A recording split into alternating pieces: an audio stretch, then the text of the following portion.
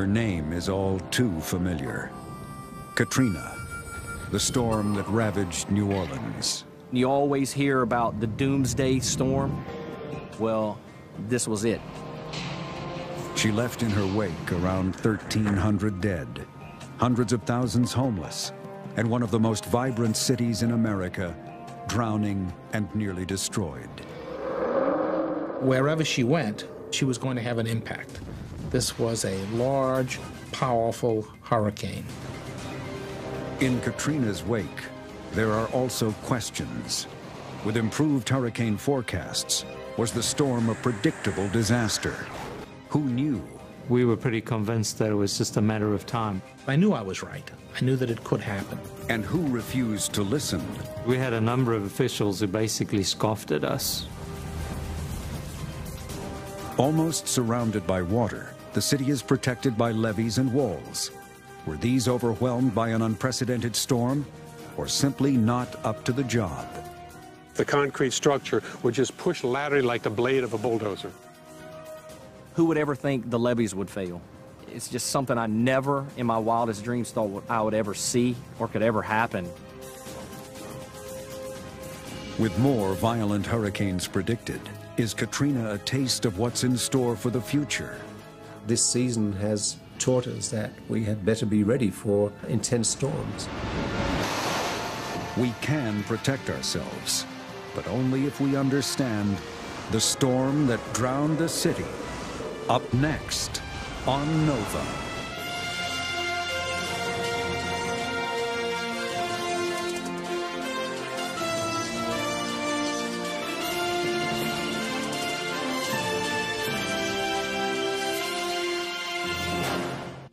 Corporate funding for NOVA is provided by Google. Major funding for NOVA is provided by the Howard Hughes Medical Institute, serving society through biomedical research and science education, HHMI.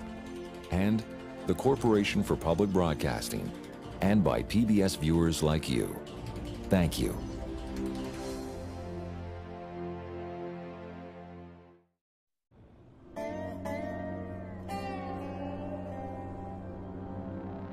It looks like an ordinary day in New Orleans.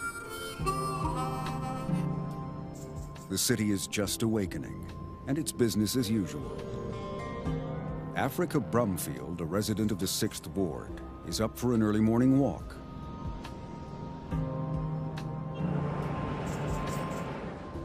Walter Maestri, an emergency manager, is on his way to his office at Jefferson Parish. On the Gulf Coast northeast of the city, Lisa Monty has dropped in at her neighbor's. Things seem calm, but there's trouble looming. At the National Hurricane Center in Florida, the meteorologists are busy. It's hurricane season, and there's a storm called Katrina approaching, with New Orleans in her sights. Max Mayfield heads the Hurricane Watch Team. Katrina formed from a tropical wave that uh, had moved off the coast of Africa, and then it developed into a tropical depression.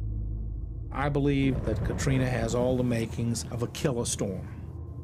Alert for threats to his parish, Walter Maestri called it right. Six days later, the killer storm arrived. The wind started shaking the facility pretty good at that point. There was water, and it never stopped coming in. There was water from here all the way that way to the Superdome, and then all the way to the Industrial Canal. You're sitting there and you're wondering, how are you going to stay sane? And then the lights go out.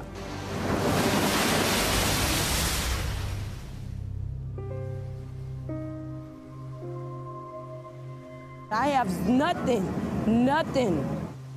Yeah, very, very hungry. We haven't eaten in three days. Would you please, please help us? We want her back. We want her back.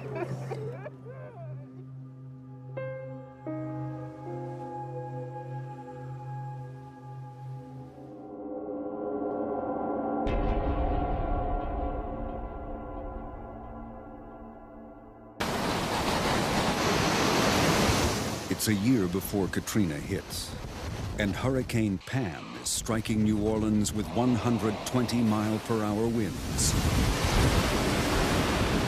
Floodwaters are surging into the city. But fortunately, this hurricane is not real. The fictional Hurricane Pam was created by Ivor van Heerden in his supercomputer using data from past storms, wind, rain, and storm surge.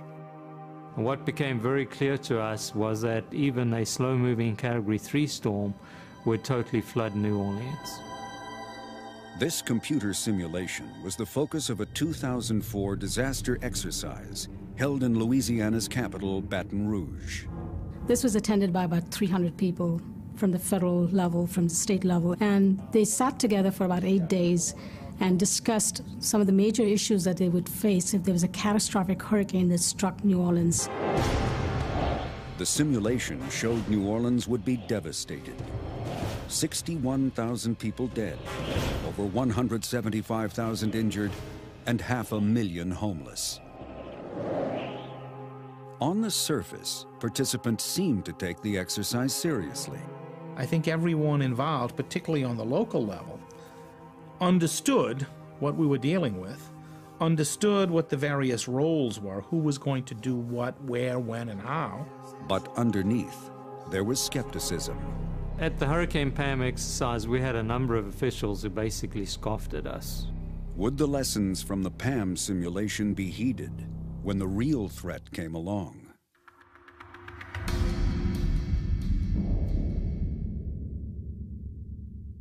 It's over a year after the Hurricane Pam exercise, and the 2005 hurricane season has begun.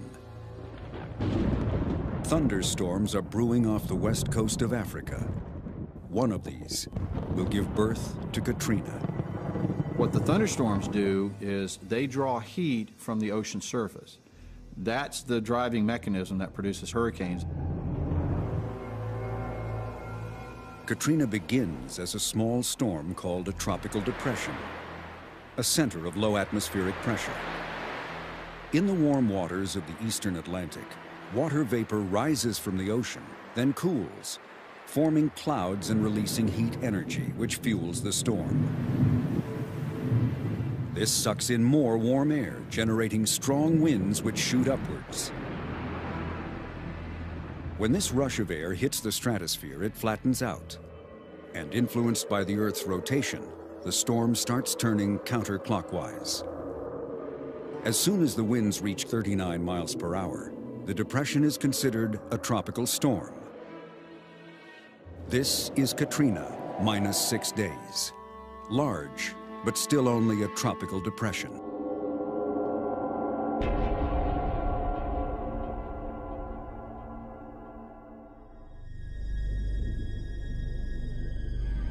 A day later, there's bad news. The Hurricane Center has upgraded the depression to a tropical storm.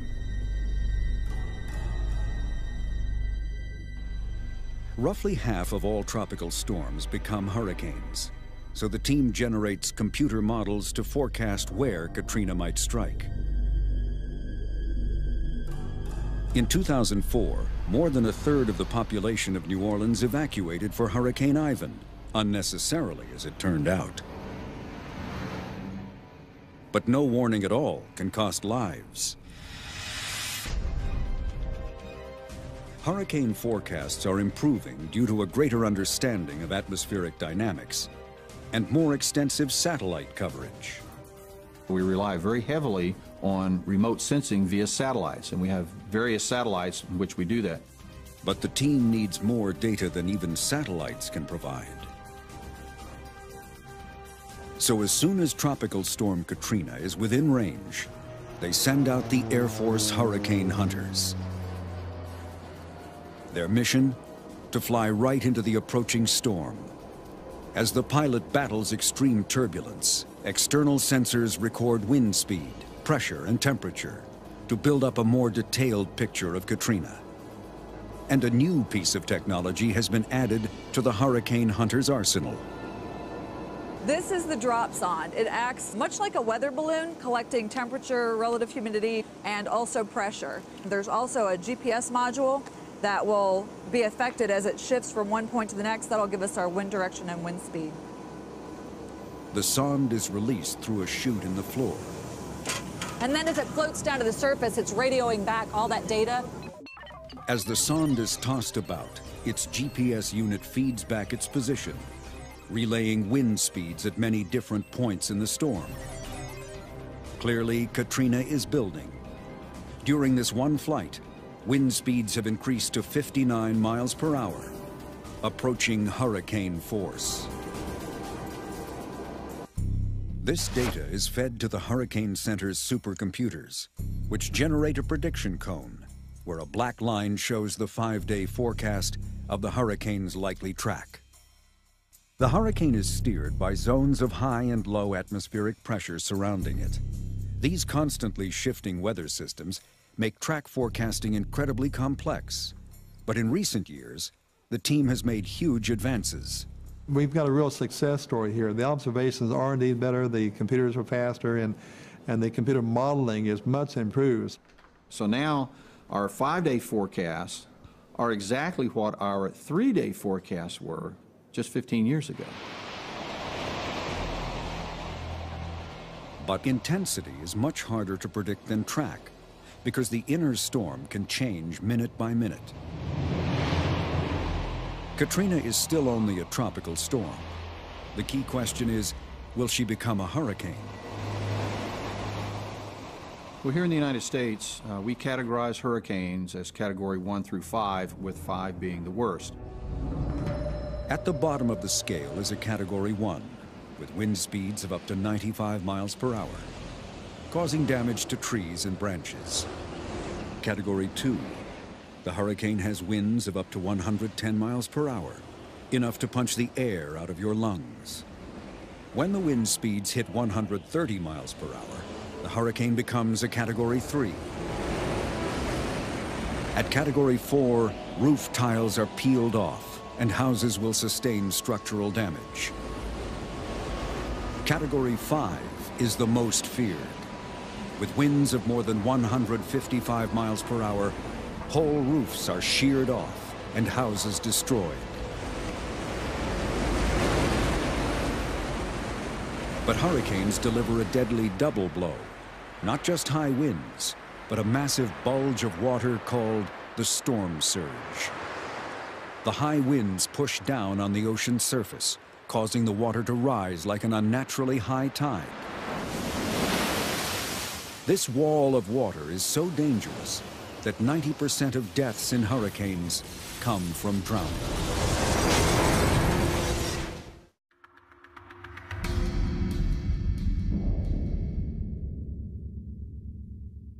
On Thursday, the 25th of August, Katrina finally grows into a Category 1 hurricane. She has formed an eye and is heading straight for southern Florida. Less than two hours later, she hits land. With no warm water to fuel her fury, Katrina dies down. But there's more warm water ahead in the Gulf of Mexico. In New Orleans, Walter Maestri watches the storm track nervously. He knows from near misses like Hurricane George in 98 and Ivan last year how vulnerable the city is.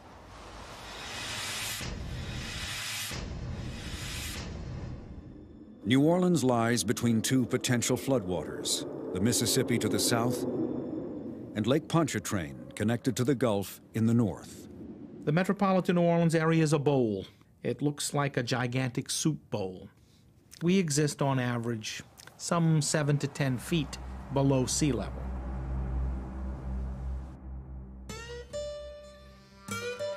When the Mississippi flooded every year, it deposited silt to create vast boggy marshlands.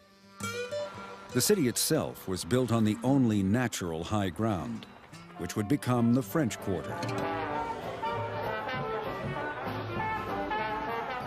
Joe Suhayda is a coastal engineer who studies the city's defenses. The city was established at around uh, the year 1700, and it was established on high ground that was adjacent to the Mississippi River. and uh, this high ground was not flooded annually. Surrounded by marshlands, New Orleans couldn't grow until an engineer named Baldwin Wood designed a complex system of pumps and drainage canals to dry the city. Much of the system is still working today. And with the flood-prone areas dry, New Orleans expanded outwards from the French Quarter, all over the drained wetlands. But this created a bigger problem. In order to settle the areas, you've got to drain the water out of them. Well, as those soils then become drained, the organic matter breaks down just like compost, and so you lose bulk and the soils then shrink. The shrinking soils caused the city to sink further. To protect the growing population, the state built earthen levees, sometimes with prison labor. But in 1927, the Mississippi burst her banks in a catastrophic flood that killed at least 500 people and swamped more than a million homes. Although the flood never reached New Orleans, the authorities dynamited a levee south of the city as a precaution. The resulting man-made flood drowned two of the poorest parishes and displaced some 10,000 of their inhabitants. And it was a turning point as the Army Corps of Engineers took control of the levees. From that point on, the Corps of Engineers and the federal government have had a large part to play in the levees, especially the Mississippi River levees in the city of New Orleans and, and southern Louisiana. Colonel Richard Wagenaar is now in charge of a 1,200-strong team. It's their responsibility to build and repair the levees to protect against hurricanes like Katrina. New Orleans has two types of levee, the original earthen levees and more recently built concrete and steel flood walls. It was after Hurricane Betsy in 1965 that Congress set standards for the levees. Betsy was a Category 3 hurricane, causing extensive damage and flooding. Since then, Congress has provided the Army Corps of Engineers with funds to upgrade the levees to withstand a Category 3, and no more.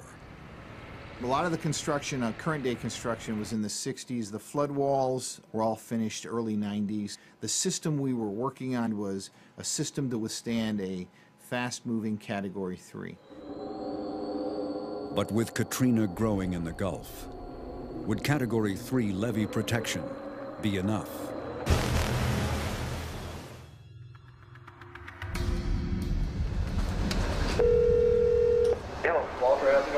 On Friday, the 26th of August, Walter Maestri receives a worrying phone call. The week that Katrina made landfall, I got a phone call from Max Mayfield, the director of the National Hurricane Center. I called uh, Walter Maestri, who is the director of emergency management in Jefferson Parish, Louisiana, and I told him, Walter, you better get ready. You've got to know Max Mayfield. He's an extremely low key individual. Uh, not much upsets him. When you get that phone call from Max, it's serious. For Walter Maestri, it's the news he's been dreading. The National Hurricane Center shows the storm heading straight toward the Gulf Coast west of New Orleans, the very worst case scenario. Since a hurricane spins counterclockwise, it generates stronger winds and more pressure on its eastern flank. So the storm surge to the east is also more severe, directly threatening New Orleans. With so many of its neighborhoods below sea level, New Orleans is going to need its strongest defenses. Those defenses used to be provided by Louisiana's wetlands. Before its levees were built, the Mississippi River conveyed tons of silt and soil to the coast each year. Every spring when the river flooded, the wetlands were strengthened and replenished. These wetlands protected New Orleans against hurricane storm surges, soaking up the violent waters like a sponge, while stands of cypress trees acted as a windbreak. But when levees were built, they kept the river from flooding. The wetlands became starved of new soil and started disappearing at an alarming rate. Shea Penland is a coastal oceanographer who has witnessed this decline for over 30 years. It's creeping up on us. It's, it's occurring every day. The land's washing away every day. It's chronic. The depleted wetlands are more vulnerable to the encroachment of salt water from the Gulf, which kills most freshwater plants. Louisiana's wetlands are vanishing at the staggering rate of at least 20 square miles a year, nearly a football field every hour. And as wetlands disappear, storm surges rise, putting New Orleans at even greater risk. We dodged a bullet with Hurricane Andrew in 1992. We dodged a bullet with Hurricane George in 1998. And we dodged the atomic bomb with Ivan 04. But would New Orleans dodge the bullet this time?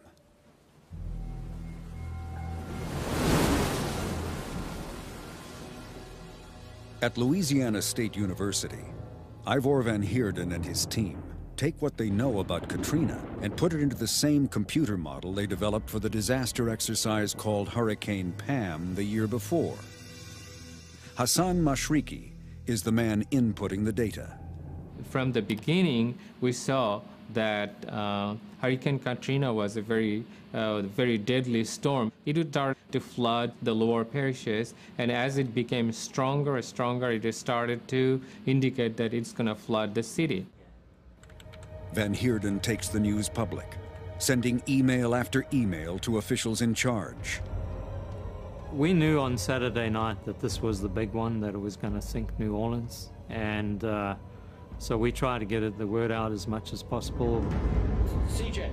Walter Maestri is desperately trying to get people to leave his parish. It was fairly obvious that um, this was going to be a storm that was going to land in our backyard.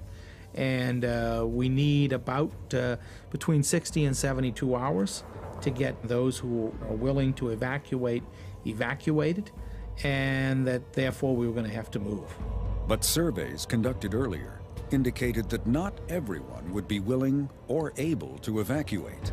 We understood that about 68.2% of the people would leave, which would have meant about 300,000 would have stayed.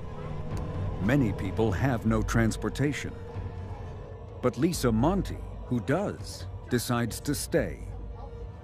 She lives in Bay St. Louis on the Gulf Coast, 60 miles from New Orleans. She rode out one of the worst storms to hit the coastline, Hurricane Camille, in 1969. Camille didn't get us. We stayed here. Uh, it was a very long night. The walls shook, the floors shook. We, we had to scream. The wind was so loud. But the water from the beach didn't, didn't get near us in Camille. In her house set back from the beach, 20 feet above sea level, Lisa Monty assumes she is safe from Katrina. And in the heart of New Orleans, Africa Brumfield, with her house 12 feet below sea level, decides to remain as well. Some of our family members decided that they would leave, but my parents decided to stay, and I wasn't going to leave them and go to safety, so I decided to stay with them. But Max Mayfield and his Hurricane Watch team keep making frantic calls to warn of the impending danger. I wanted to be able to leave the National Hurricane Center that night knowing that I'd done everything that I could do.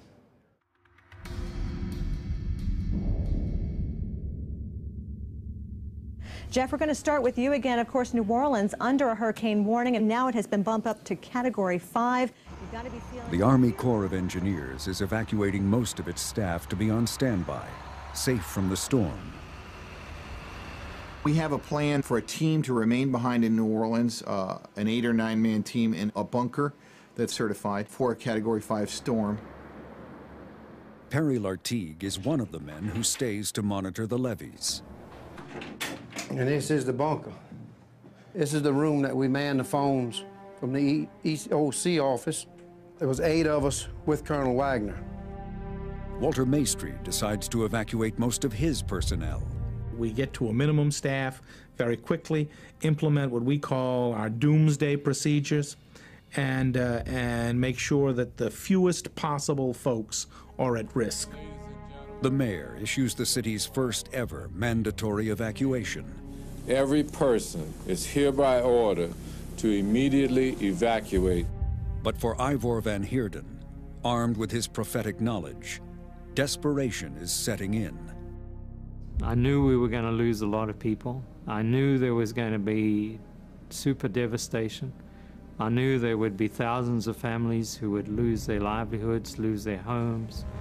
I knew that we were going to see an awful amount of heartbreak. The city streets are all but deserted. Those who have remained are inside, preparing for the night ahead. The small contingent from the Army Corps makes hourly visits to check the height of the Mississippi. We're reading gauges, and from about 3 or 4 o'clock in the eve, Sunday evening till the last gauge I went out and read was at 1030. Though the hurricane has not yet made landfall, the river has risen 11 feet. Around 10:30 or 11, the wind started to get more and more rough. The Army team is forced to retreat to their steel-reinforced bunker and watch as Katrina wreaks her fury. We kept looking out the front door porthole watching the wind blow, but we, we felt safe. Outside, storm chasers are experiencing the storm's dramatic buildup firsthand. Around midnight, it got really bad. It was blowing to the point where the house would shake, not a lot, but it would move. And you knew something was different about the way the wind was blowing. It was very cramped, and uh, of course, the adrenaline is very high. We've never been in the bunker for a hurricane.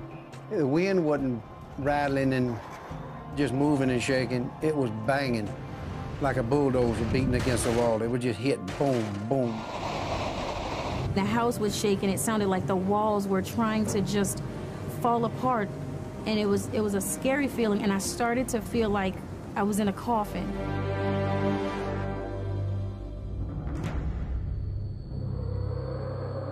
At 6:10 a.m., Katrina strikes land. The National Hurricane Center has amazingly predicted her track to within about 20 miles. She has now veered to the east of the city, avoiding the worst-case scenario. But there is no escaping Katrina's devastating power.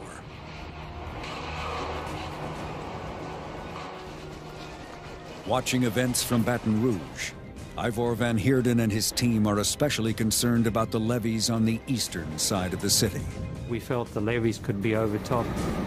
During Hurricane Betsy, we had lost significant amounts of levees, especially on the Industrial Canal, and our fear was that the same thing was going to happen again. The eastern sections of New Orleans are bordered by the Industrial Canal and the Intercoastal Waterway, which connects to the Gulf. Katrina's storm surge would fire like a bullet up the Intercoastal Waterway toward the heart of the city. But if it happens, no officials will know. The Army Corps of Engineers has no external monitoring equipment. While the power lasts, the engineers rely on the media. Katrina has made landfall now. We got a lot of reports, people calling in or reporting things wrong with levees.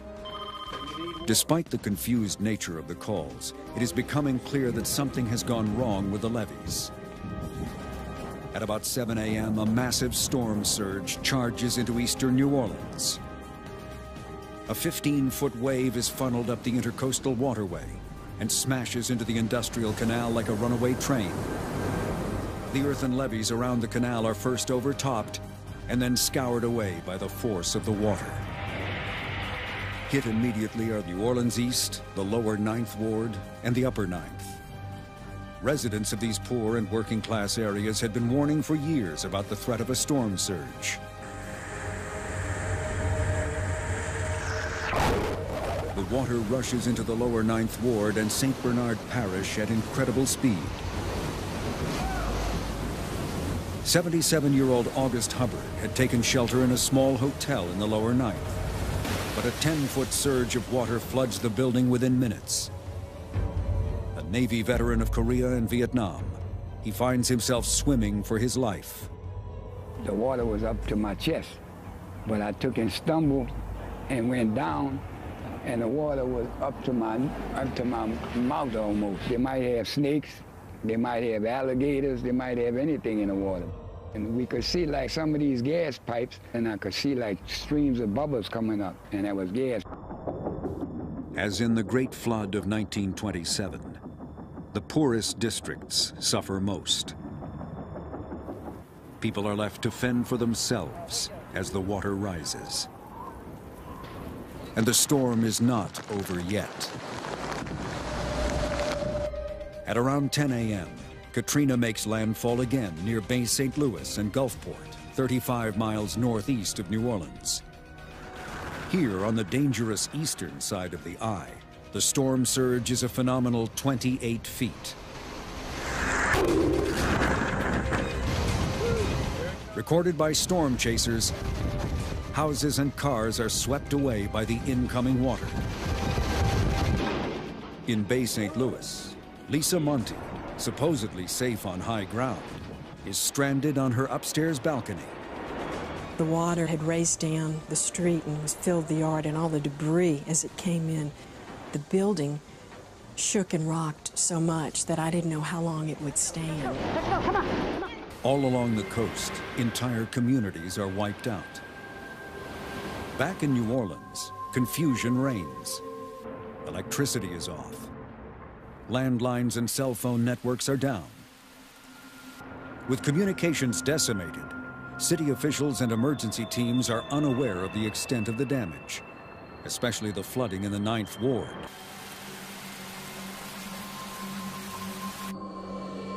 By early afternoon, Katrina is moving inland, progressing north and gradually weakening. When the storm left and started to move to the north, we felt blessed because it appeared that Katrina had not been, uh, you know, as devastating as we thought. But they couldn't be more wrong.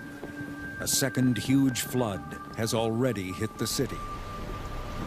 Around 2 p.m., Colonel Wagenaar and his engineers finally head downtown to check on vague reports of damage to the drainage canals at London Avenue and 17th Street. There was a civilian that had told us that there was an overtopping or something wrong with the wall. But over a mile from the 17th Street Canal, they are stopped in their tracks. We could not get any closer. We encountered significant amounts of water at what we call the I-10, 610 split on the interstate highway, uh, probably 10 to 15 feet of water. I knew at that point that that was much more water than had come down from rainfall. The 17th Street and London Avenue canals burst in three major locations, sometime around 10 a.m. Throughout the day, water from Lake Pontchartrain pours at high pressure into the heart of New Orleans.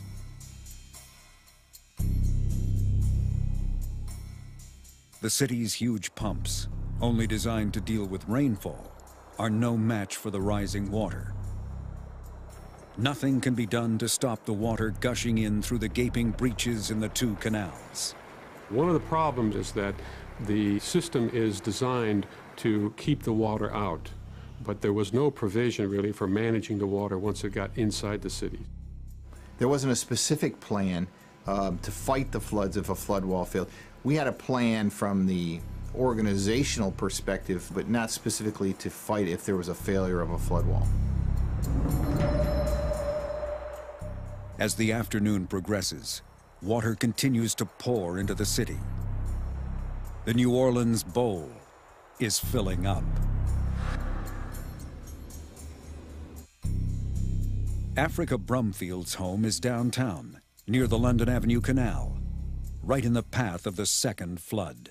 I sat outside from about 3 when the water started to come in until maybe 7 o'clock that night, watching the water rise from the ground, and it continued to rise and it continued to rise. So we went into the house and we figured it'll stop. So I, I tried to lie down and go to sleep, but who can rest in situations like that? It was getting dark, and that night we returned to the district um, and just hunkered down for the night. Uh, there was only still the nine of us um, and waited for the next morning to get back out there and do our assessments.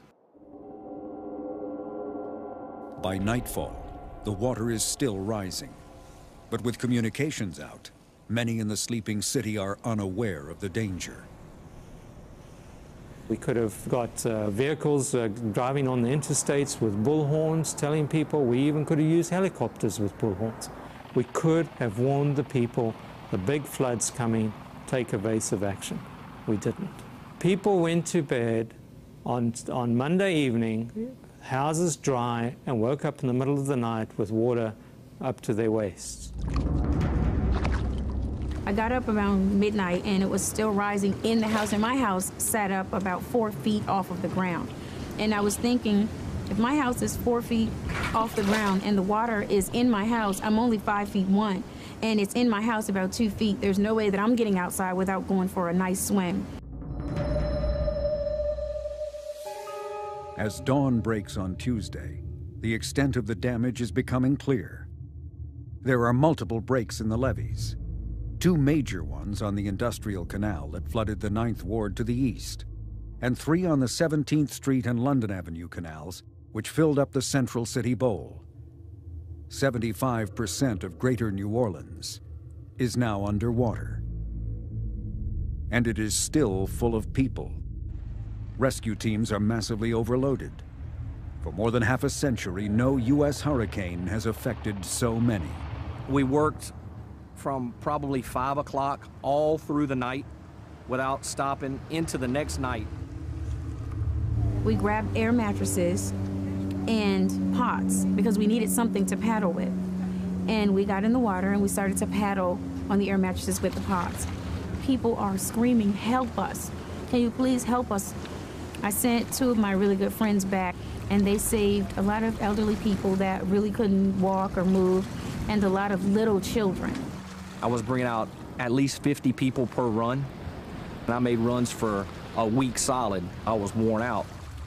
You always hear about the doomsday storm that they've been predicting for 100 years to hit the city. Well, this was it. When the water finally stops rising in the flooded city, work can resume on fixing the flood walls. With roads and canals blocked, the Army Corps of Engineers is initially restricted to helicopters. That's a Chinook helicopter. It's a medium lift helicopter. And there are three, should be three sandbags underneath that. And it is reinforcing one of the sites that was breached on the London Avenue Canal. So underneath all of this rock and gravel are sandbags. Well, you can see them right here, sandbags just like that. So they're flying over to that breach, uh, dropping the sandbags and building up the height of that wall that's stopping the water from moving from the canal uh, to the flooded areas. Eventually, the breaches are filled and the water begins to be pumped out. But it will take over a month before the city is dry. In the meantime, rescue efforts continue. Hundreds are pulled from their wrecked homes. 77-year-old August Hubbard from the lower Ninth Ward spends a freezing night after swimming to an overpass until a helicopter finally picks him up. The helicopters kept passing and waving at us. They put me in the hospital. I stood in the hospital three and a half days because I had the diarrhea and they checking my heart and stuff like that. Well, they brought me to an airplane hangar and they had like about four or 5,000 people in there and we were sleeping on mattresses. The chaotic official response means that there is still no food or water available to the crowds of people in the city. For many, there is no way out. Civilization is breaking down around them. We passed a lady in a hospital bed being pushed on the interstate. And all of a sudden, reality hits you of where you are and what's really happening to you. The rescued and displaced are told to head for shelter at the Superdome and the Convention Center. In a story that's all too familiar, many are forced to wait in squalid conditions for days. All around them, the city lies in ruins. 60,000 houses in New Orleans and other communities are eventually declared damaged beyond repair. In New Orleans alone, over a thousand people have lost their lives. It's just something I never in my wildest dreams thought I would ever see or could ever happen. Who would have ever thought 100,000 people, you know, would stay for a Category 5 hurricane? I guess the reason they stayed is who would ever think the levees would fail? So was the damage and loss of life avoidable? Why did the levees fail? In the wake of the storm, questions began to be asked. And they focused on the height of the storm surge. On the Gulf Coast, Bay St. Louis was on the dangerous eastern side of the eye when the surge hit. Lisa Monte's town experienced the maximum 28-foot height of the surge. You could see how massive the wall of water was that climbed up and did all of this destruction. As far as you can see on either side of the beach, there really, there is nothing. I've heard so many workers who are from out of town say, I can tell that this was a special place.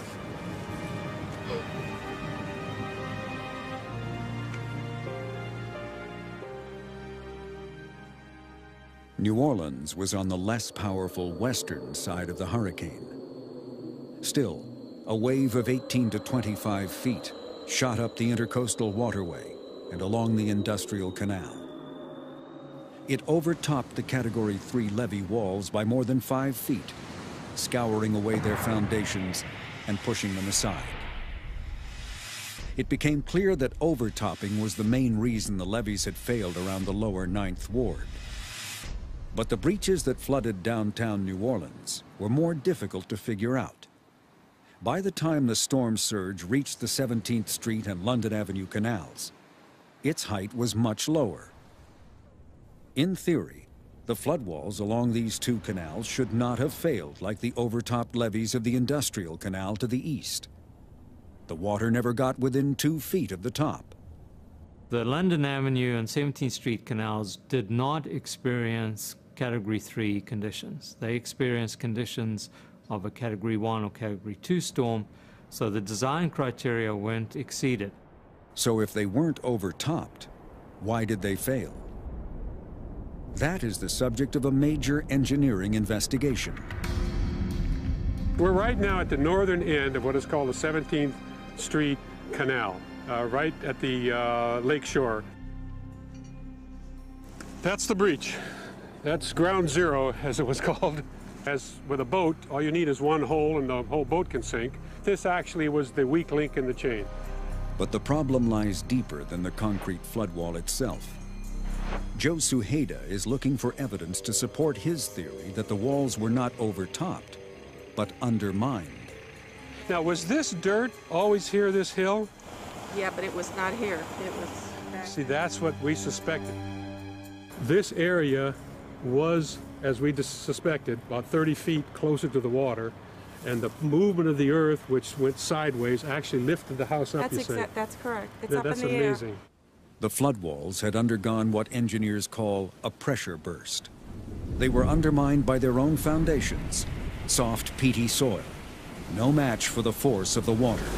This is what we had suspected in terms of the mechanism of failure, was uh, that the flood wall failed at the base, the earth was too weak, and the, the sheet piling itself and the monolith, the concrete structure, would just push laterally like the blade of a bulldozer. Evidence suggests that the floodwall failures could have been prevented if the pilings had been driven more deeply into the ground. What is now very obvious is that these walls were under-designed, under-engineered. It was basically a catastrophic structural failure of those levee systems. The Army Corps of Engineers plans to repair the levees up to Category 3 by next hurricane season. But the floodwall failure has called into question the reliability of the entire levee system, just at a time when it may be needed more than ever. 2005 turned out to be the busiest hurricane season on record. Katrina was swiftly followed by Rita, causing more damage to the Gulf Coast. Stan, smashing into Central America. And Wilma, devastating Mexico and Florida. Meteorologists have now run out of letters in the Roman alphabet. Moving on to the Greek, the first ever hurricanes Alpha, Beta, and so on were recorded.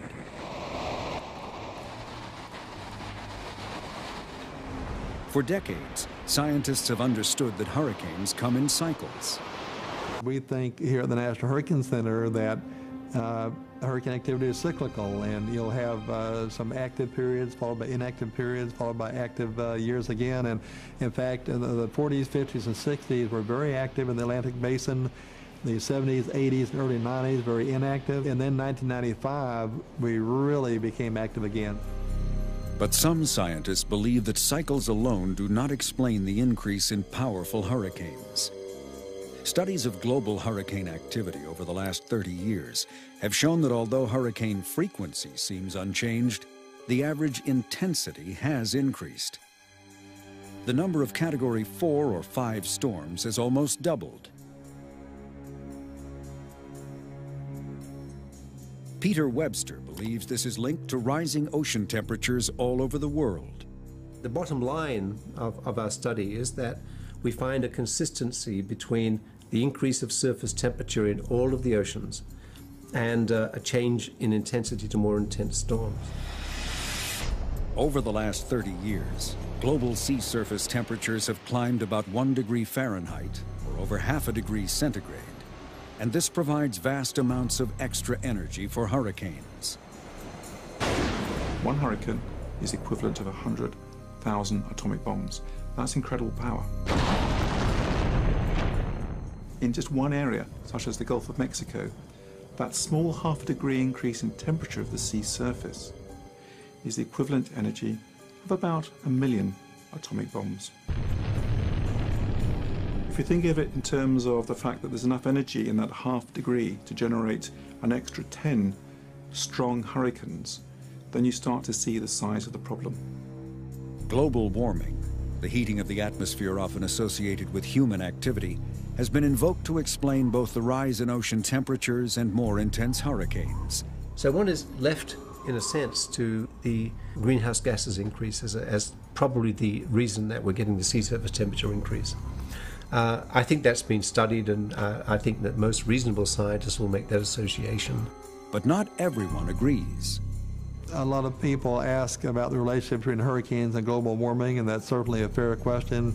Uh, we think that hurricane activity can be explained uh, without invoking global warming.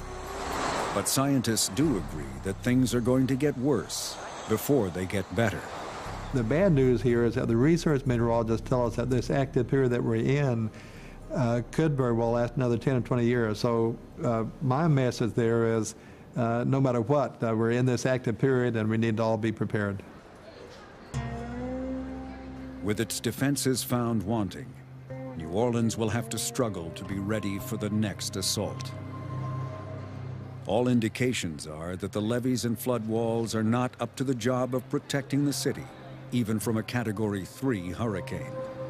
There is no money to upgrade them, even though more Category 4 and 5s are expected. Category 3 protection was not adequate. It's clear to me that if we're going to re, uh, build a city, that it uh, has to be built upon a basis of Category 5 protection. It clearly would have made sense to protect and, and avoid the federal government spending the hundreds of billions of dollars by investing an additional, let's say, $2 billion in levee protection. But levees are not the only way to protect a sinking city. More radical options are now on the table. Much of the city is below sea level. I think uh, given the opportunity in situations like uh, it's over my shoulder here where the area will have to be completely demolished, that we rebuild those and basically invert the bowl, bring sediments in to raise the ground, perhaps up as high as we're standing right now. But preventing further destruction of the environment may be as effective as any ambitious rebuilding scheme the ultimate key to uh, Louisiana's survival and reducing the impacts of surges is to restore our coastal wetlands. These wetlands uh, knock down the surge and they also reduce wind energy as, as the storms pass over them. After nearly a century of building levees to control the Mississippi, one idea is to let parts of the river run wild once more This plan would create a new tributary that would be allowed to flood, deposit silt, and rebuild the wetlands. This would cost billions and take as long as 50 years. But just as difficult may be the task of rebuilding the confidence of the people of New Orleans. Both the disaster and the long, slow process of rebuilding have convinced many not to return. This was home. And I've been all over the world, thanks to the military. Nothing ever felt like New Orleans, ever. But I can't come back to live. Going through that again is too scary. For those who had long predicted this calamity, all the attention now being given to hurricane protection has brought no contentment. With around 1,300 dead and 800,000 homeless, the price has been far too high. It's hardy to say it, but I knew I was right. I knew that it could happen. Uh, it's horrible that it did. And what I see around me now on the faces of the individuals who have lost everything and don't know, you know, what's going to happen to them, um, that's devastating. That's the devastating part. And for those scientists who'd seen their warnings ignored, it hits especially hard. You know, I'm really heartsore for those people. You walk past some of these homes, only half of them are standing because they've been destroyed by the floods. They've lost so much. So, so much. And I think that's the, the, the really hard part for me to take is I knew it was coming. And to go and see it day after day is really distressful.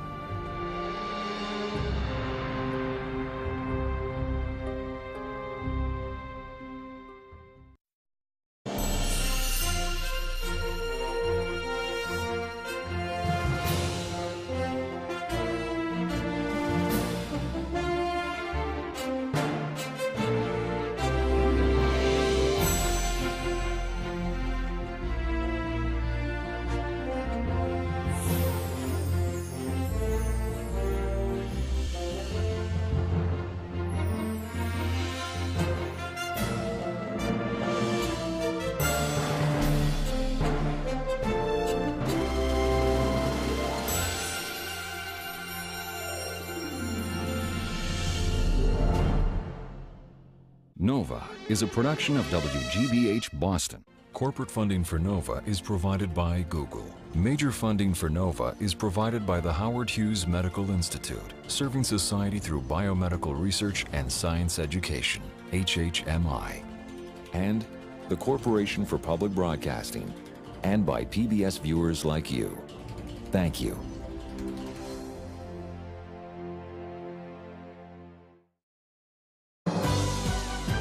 We are PBS.